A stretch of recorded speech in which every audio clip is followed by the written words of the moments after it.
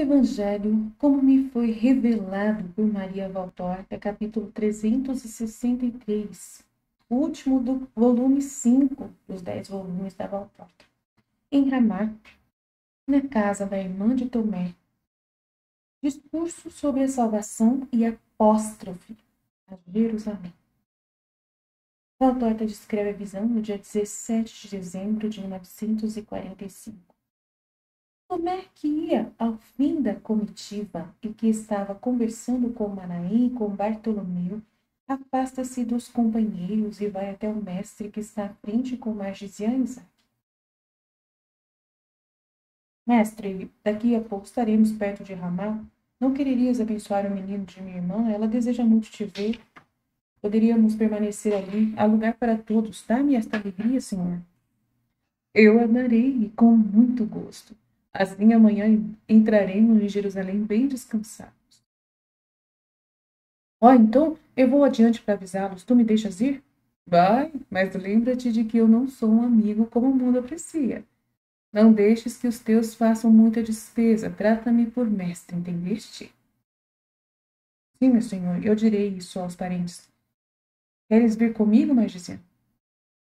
Se Jesus assim quiser. Vai, vai, meu filho.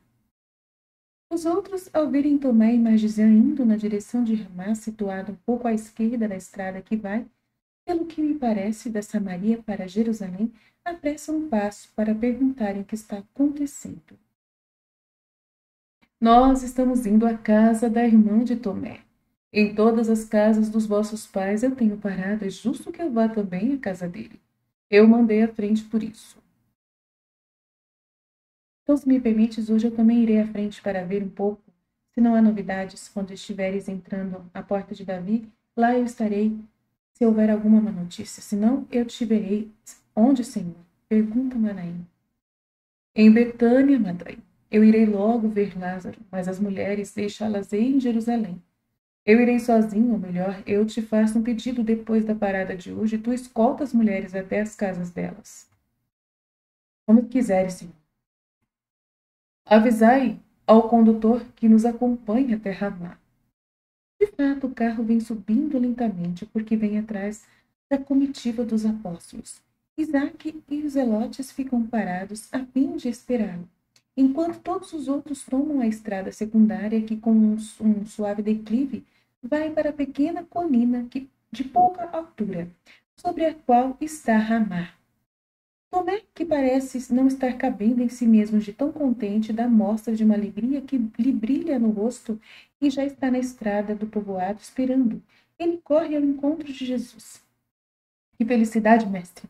Aqui está toda a minha família, meu pai, que tanto desejava conhecer-te, minha mãe e meus irmãos. Como estou contente! E se põe ao lado de Jesus, passando através do povoado tão impertigado, que parece ser um conquistador na hora do triunfo. A casa da irmã de Tomé fica perto de uma encruzilhada a leste do povoado.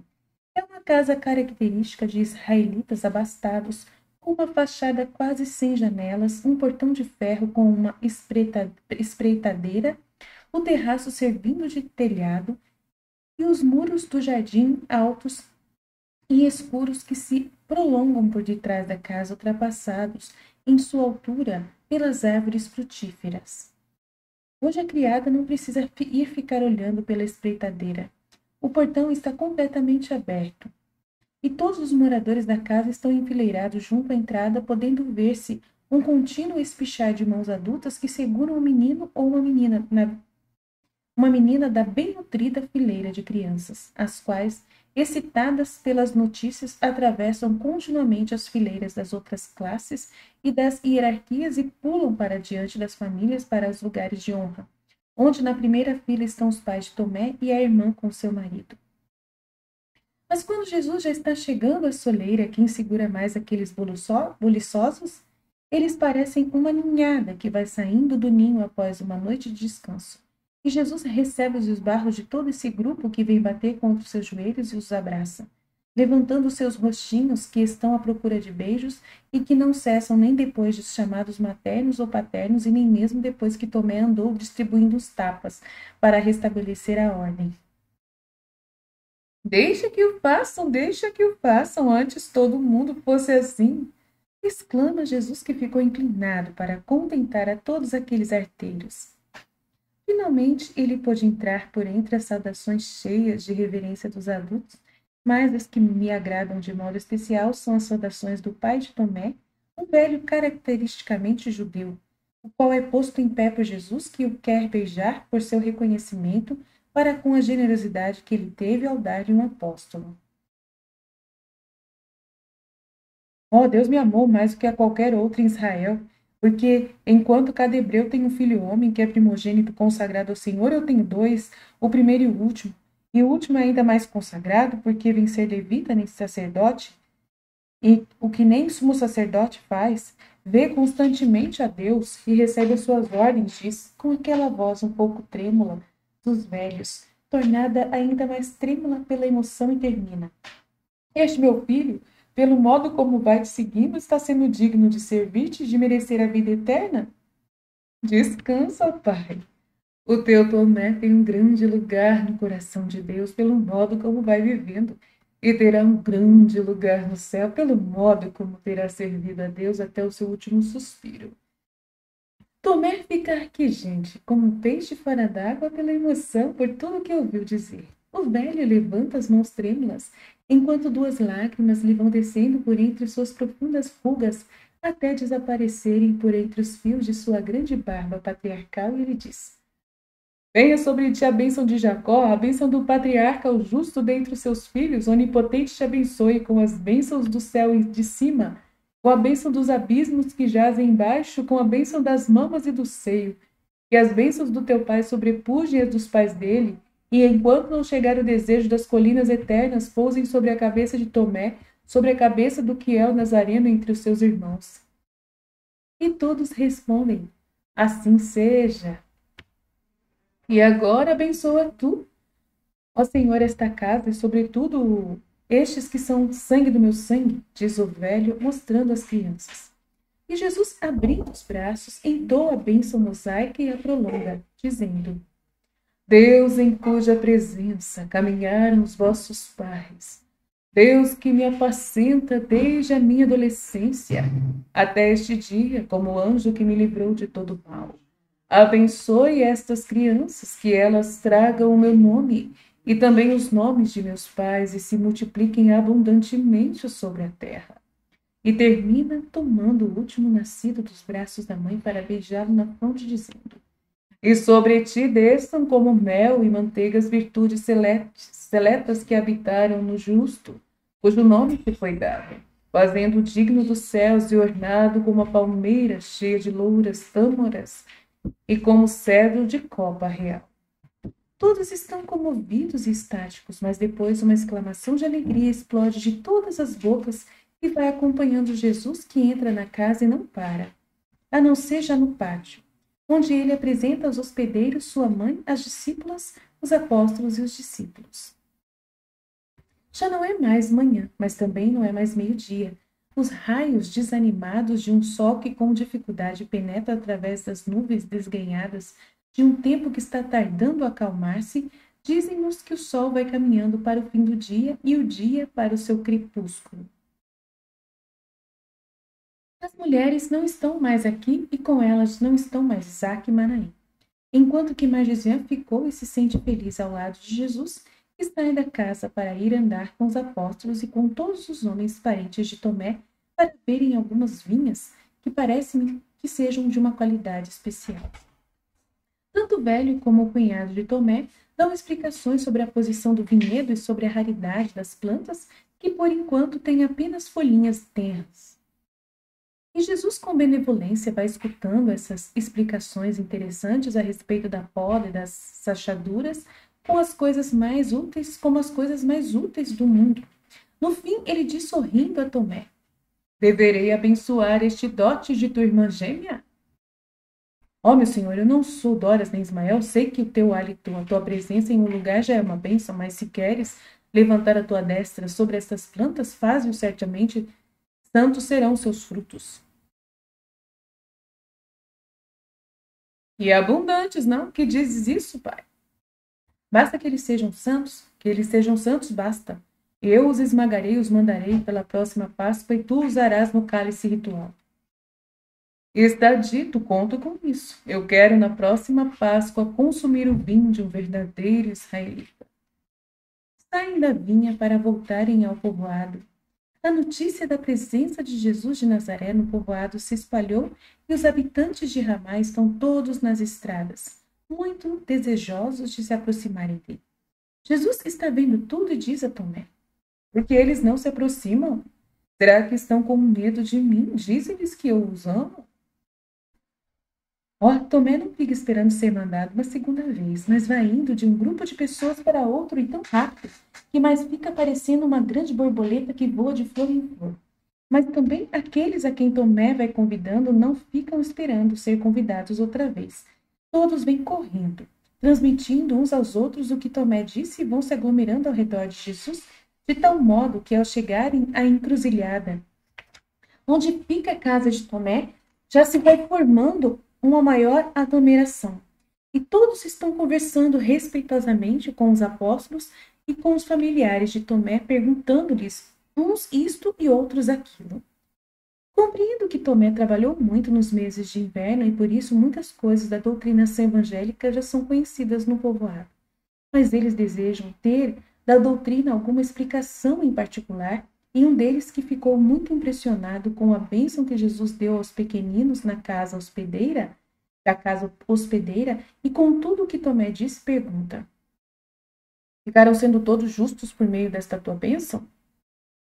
Não por meio dela, mas pelas suas ações. Eu dei a eles a força da bênção para fortalecê-los em suas boas ações. Mas hão de ser eles que devem fazer as ações e praticar somente as ações justas para terem o céu. Eu abençoo a todos, mas nem todos se salvarão em Israel. Até pelo contrário, muitos poucos deles se salvarão se continuarem a agir como estão agindo. Resmunga Tomé. O que está dizendo? A verdade, quem persegue Cristo e o calunia, quem não pratica o que ele ensina, não terá parte em seu reino. Diz Tomé com seu vozeirão. Alguém o puxa pela manga. Ele é muito severo? Pergunta o homem mostrando Jesus. Não, ele é até muito bom. Eu, dizes, me salvarei? Eu não estou entre os discípulos, mas tu sabes como eu sou e como sempre acreditei no que me dizias, mas mais do que isso, eu não sei fazer. O que devo fazer precisamente para me salvar além do que já estou fazendo? Pergunta isso a ele, ele tem uma mão firme e um julgamento mais perfeito do que o meu. O homem anda para frente e diz: Mestre, eu pratico a lei. Desde que Tomé me repetiu as tuas palavras, eu procuro fazê-lo sempre melhor. Mas eu sou pouco generoso. Faço somente o que devo fazer. Abstenho-me de fazer o que não é bom, porque tenho medo do inferno. Mas eu gosto também de ter as minhas comodidades. E eu confesso, esforço-me para fazer tudo de tal maneira que eu não peque. Mas não gosto de ficar preocupando-me demais. Fazendo assim, eu me salvarei? Tu te salvarás. Mas por que queres ser avarento com Deus, que é tão generoso contigo? Por que queres pretender somente a tua salvação, uma salvação conseguida com dificuldade, e não a grande santidade que dá direito imediatamente a uma paz eterna? Vamos, homem, ser generoso para com a tua alma. O homem diz com humildade: Vou pensar nisso, Senhor, vou pensar nisso. Acho que tu tens razão que eu sou injusto para com a minha alma, obrigando-a a passar por uma longa purificação antes de ter a paz. Muito bem. Esse pensamento já é um começo de aperfeiçoamento. Um outro de Ramá pergunta: Senhor, são poucos os que se salvam? Se o homem soubesse levar a sua vida, respeitando-se a si mesmo, e com um amor reverencial para com Deus, Todos os homens se salvariam como Deus o deseja. Mas o homem não quer proceder assim. E como um tolo, ele se deixa iludir pelo ouro, em vez de procurar o verdadeiro ouro. Sede generosos em querer o bem. Isto vos é difícil, mas nisso é o que está o merecimento. Esforçai-vos para entrardes pela porta estreita A outra é bem larga e adornada, mas é sedução de Satanás para desencaminhar-vos. A do céu é estreita, baixa, nua, escabrosa. Para passardes por ela, precisais ser ágeis, rápidos, sem pompa e sem materialidade. É necessário que sejais espirituais para o poder desfazer. Se não for assim, quando chegar a hora de vossa morte, não conseguireis passar por ela. Na verdade, ver-se-ão muitos que irão tentar, sem poderem consegui-lo pelo tanto que eles estarão obesos por sua materialidade, ataviados com pompas humanas, enrijecidos por uma crosta de pecado, incapazes de se dobrarem por causa da soberba que faz deles uns esqueletos. E virá então o dono do reino para fechar a porta, e os que estão do lado de fora, os que não puderam entrar no tempo marcado, continuarão do lado de fora e baterão a porta gritando: Senhor, abre para nós. Nós também estamos aqui. Mas ele dirá: Em verdade, eu não vos conheço, nem sei de onde estáis vindo. E eles dirão: mas como? Não te lembras de nós? Nós comemos e bebemos contigo e te ficamos escutando quando tu ensinavas nas nossas praças. Mas ele responderá: Em verdade, eu não vos reconheço. Quanto mais olho para vós, mais vós me ficais parecendo umas pessoas que se saciaram com aquilo que eu devia declarado ser um alimento impuro. Em verdade, por mais que eu vos perscrute, mas vou descobrindo que vós não sois da minha família. Em verdade, eis agora estou vendo que vós sois filhos e súditos mais do outro. Vós tendes por pai Satanás, por mãe a carne, por nutriz a soberba, por servo ódio, por tesouro tereis vosso pecado, e como pedras preciosas tereis os vossos vícios. Sobre o vosso coração está escrito egoísmo. As vossas mãos estão sujas das rapinas que fizestes aos vossos irmãos. Fora daqui, para longe de mim, todos vós, fazedores de iniquidades. E então, enquanto das profundezas dos céus virão, fugindo de glória Abraão, Isaque, Jacó e todos os profetas e justos do reino de Deus. Estes e todos aqueles que não cultivaram o amor, mas o egoísmo, não o sacrifício, mas a comodidade, serão expulsos para longe e confinados no lugar onde o planto é eterno e onde só há terror. E os que tiverem ressuscitado para a glória, vindo do Oriente e do Ocidente, do setentrião e do meio-dia, se reunirão todos juntos à mesa da festa nupcial do Cordeiro, Rei do reino de Deus. E se verá que muitos dos pobres e dos mínimos do exército da terra serão os primeiros na cidadania do reino. E então se verá que nem todos os poderosos de Israel são poderosos no céu, e que nem todos escolhidos pelo Cristo para terem a sorte de serem seus servos terão sabido merecer ser escolhidos para a festa nupcial. Igualmente se verá que muitos que se consideram os primeiros serão não somente os últimos, mas nem últimos eles serão porque muitos são chamados, mas poucos os que terão sabido transformar a sua escolha em uma verdadeira glória.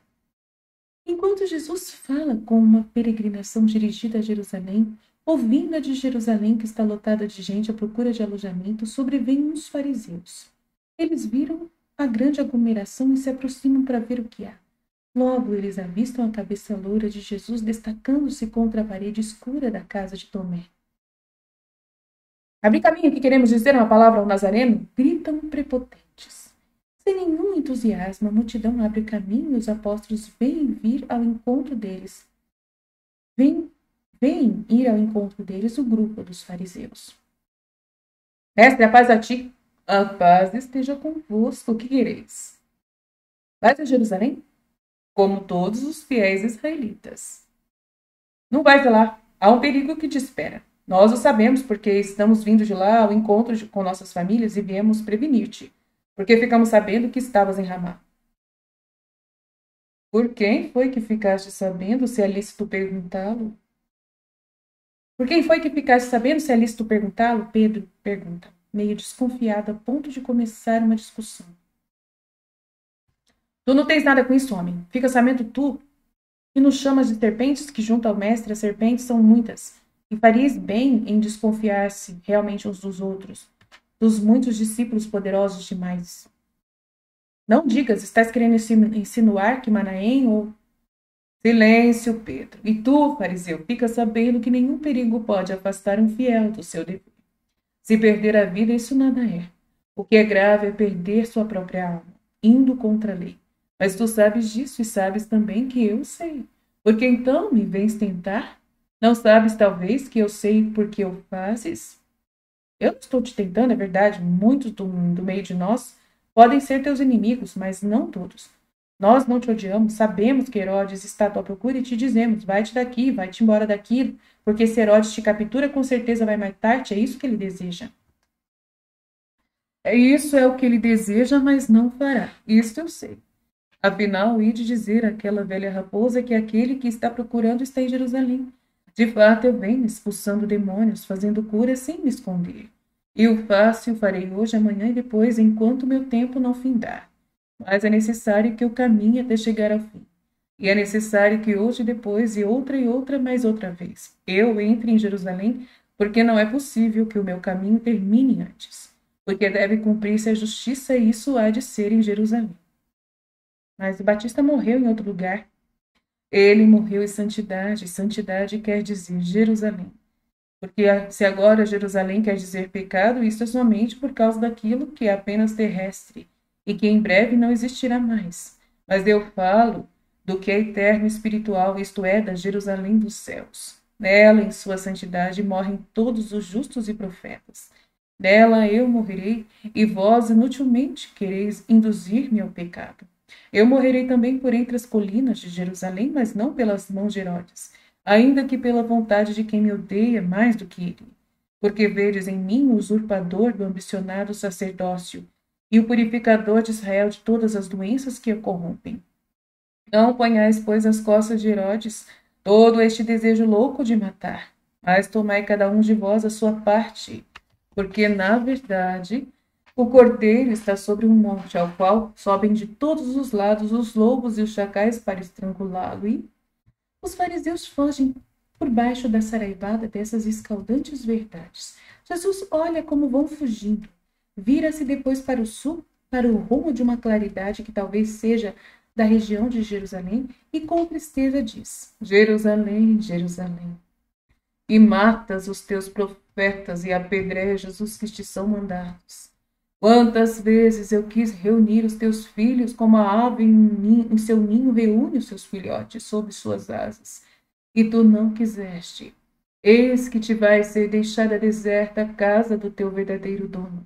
Ele virá, fará como quer o rito, como deve fazer o primeiro e o último de Israel, e depois ir-se-á embora.